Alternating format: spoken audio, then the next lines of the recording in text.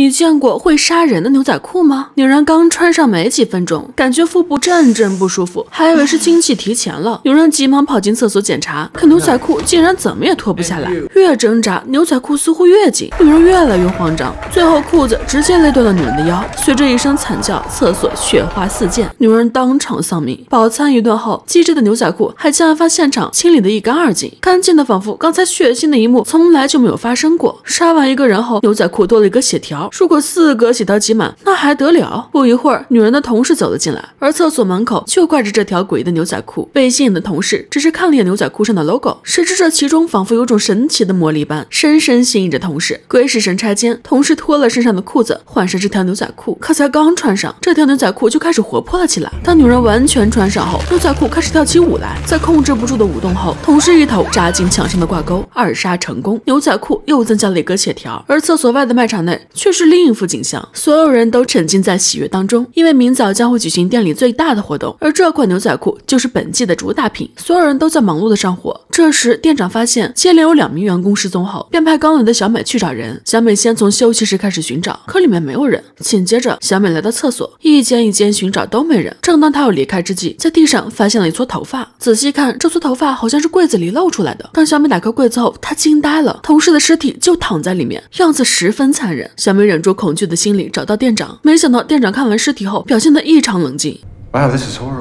小美惊呆了，你这表现的是不是太没人性了？现在出了人命，不应该是报警吗？可把利益摆在第一的店长认为，明天的销售才是重点，什么事都不能改变明天的店内销售业绩，因为明天只要这个店的业绩成为第一，那他将会成为区域经理。于是他开始 PUA 小美，而作为新人的小美怕被炒鱿鱼，只好听取店长的话。为了不引起恐慌，店长暂时隐瞒了这件事。两人将尸体扔进了垃圾桶，在店长眼里，没有用的员工就像这堆垃圾一样，扔掉就好了。一路上，小美都迷迷糊糊的，她不知道这样做对不对，可。看一眼店长，他好像什么都没发生过一样，还将露出来的手直接扔回了进去。不安的小美回到店内，观察着每个人。她不确定究竟谁是凶手，但她确定的是，凶手一定就在他们其中。男人以为这是一条印错 logo 的牛仔裤，于是想偷偷把这条裤子处理掉。谁知刚走到门口，这个神奇的 logo 吸引住了男人，他像是着魔了一般，盯着看了很久。随后找了个没人的地方想试穿，可他刚拉下牛仔裤的拉链，裤子自动将拉链拉回，磕断了男人的大拇指。但这还只是开胃菜，紧接着。牛仔裤跳起来，直接咬住了男的手臂。男人用力甩开，牛仔裤张开血盆大口，又一个跳跃咬住了男的另一只。男人在痛苦的尖叫着，可牛仔裤似乎还不打算放过他，他一下跳了上来，咬住男的脖子。就这样，男人领了盒饭，牛仔裤又剩了一格血。这已经是两个小时内失踪的第三个店员了。店长只好自己去仓库找人。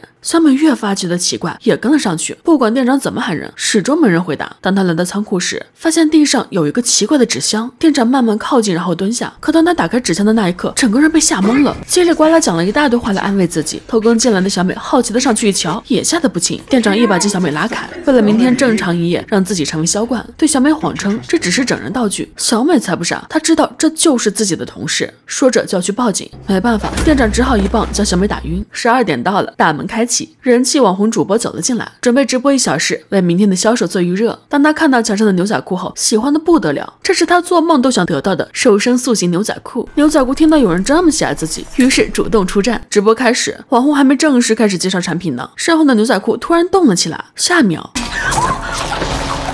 在众目睽睽之下，牛仔裤又成功杀了一个人。他跳上桌子，不再隐藏自己，看着满店的服务员，猎杀时刻到了。他先是扑向网红的摄像师，一瞬间尖叫声四起，车里所有的人都跑不了。当经理匆匆从仓库跑出来后，发现店内一片狼藉，不见一个人影，只有一条牛仔裤在地上清理血迹。他慢慢关上了门，然后快速朝监控室跑去。逃跑声惊到了牛仔裤，他知道这里还有人，于是躲了起来。店长跑进休息室后，立马关上了门。当他看到手里拿着那条同款牛仔裤后，一把将他扔了出去。见到店长进来，房间内的女人便想离开，店长急忙阻止。Do you actually think you have a shot at being regional manager? Dream on. You're nothing but a pathetic little store manager. 反正是自己的死对头，店长便没再阻拦。女人出门，拾起地上的牛仔裤，扬长而去。随后，她成了众多受害者中的一个。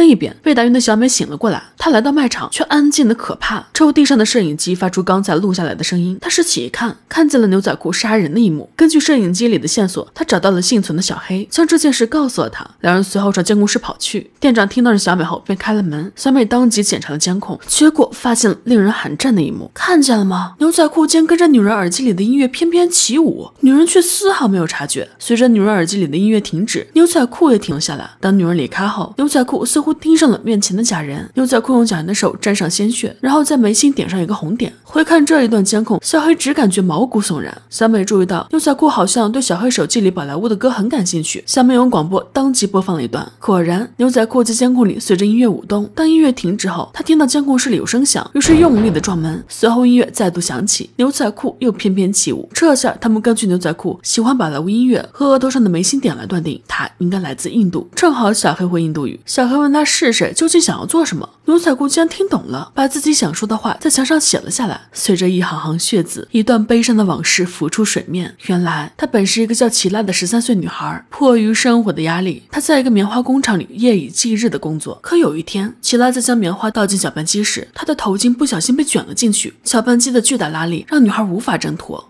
没一会儿功夫，女孩整个人就被卷了进去。可一个童工的消失，丝毫没有人在意。这批血汗棉花依旧被卖了出去，做成了牛仔裤。齐拉只想还自己一个公道，将这件事告诉所有人。而这个深受广大年轻人喜爱的潮牌店，表面打着绿色环保的旗号，其实连最基本的质量都不能保证。在这时，小黑也说出了一个真相：这个所谓的名牌潮牌店，质量也并没有这么好。这条牛仔裤的成本只有五元，却能卖出一百五十元的高价。小美和小黑觉得一定要帮帮这个可怜的女孩。两人拿起相机走出了监控室。齐拉为了表示感谢，深深的鞠上了一躬。小黑拿起相机，正准备录像，谁知店长拿着灭火器冲了出来。齐拉被吓得慌忙逃窜。事情已经发展成了这样，店长还是想隐瞒事实，甚至还用自己的身份威胁小美。小美不会再被 PUA 了。她和小黑坚持想帮助齐拉讨回公道，店长却把两人关进了装一百七十五条牛仔裤的仓库，逼着他们交出相机。他不允许这件事公之于众。两人商量过后，决定还是要帮齐拉。This is what you want? Come and get it. 店长只好跟了进去。很快，他根据耳机里的声音找到了小黑，为了抢回相机，直接一刀刺死了他。拿到相机后，店长这才发现里面的内存卡在小美那儿。随后，店长又找到了小美，他死死勒住小美的脖子。这时，所有血汗牛仔裤都苏醒纹身赶来。此时，小美已经晕了过去，而店长将会为自己的所作所为付出代价。短短几分钟后，他被啃食的只剩下一具白骨，而小美也醒了过来，却不敢动弹。等所有的牛仔裤走后，他找到齐拉，希望他能停止杀戮，自己可以帮他讨回公道。可齐拉已经不再相信人类了。所有的牛仔裤排列整齐，时间来到早上八点，大门自动解锁。疯狂的周一来了，门口围满了顾客。小美赶紧用力的将门堵住，可仅凭她一个人的力量，实在难抵顾客的热情。最终，小美被推倒，追求潮流的顾客一窝蜂的闯了进来，没人在意为正义而倒在血泊中的小美。随后，一声声尖叫传来，所有人无一生还，而小美也因为撞到头大出血没了呼吸。把利益放在第一的企业，终究不会有什么好下场。好了，以上就是今天电影的全部内容。不管你来或不来，娜娜每天都会为你守候。